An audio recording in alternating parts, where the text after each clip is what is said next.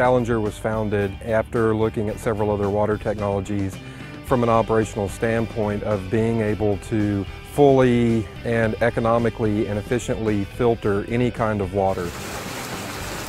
So after about a year and a half of R&D, working through different solutions, looking at different technologies, we came up with one system that utilizes several different technologies all in a proper sequence in order to get a consistent result no matter what the input was.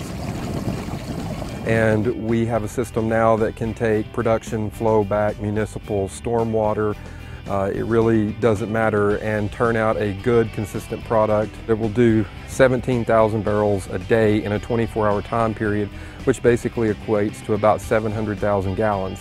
Uh, that's enough for a small town uh, or any drilling operations. The water never actually goes down hole. We don't pump it, we don't dispose it. It is truly 100% recycled. The entire unit is mobile.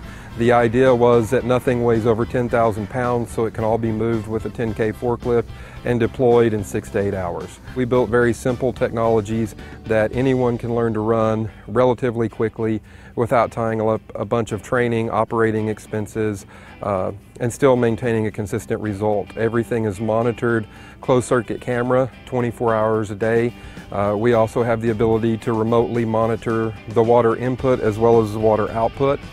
And that way, if we do have an issue on site, we can remotely log in and assist them to fix whatever the problem is in order to get back to the results we want to see. That was the idea uh, behind it because in the oil field, most of the time you can't find everyone with a PhD to go out and run water. So it had to be something simple enough that your average uh, hand or your average operator could also utilize.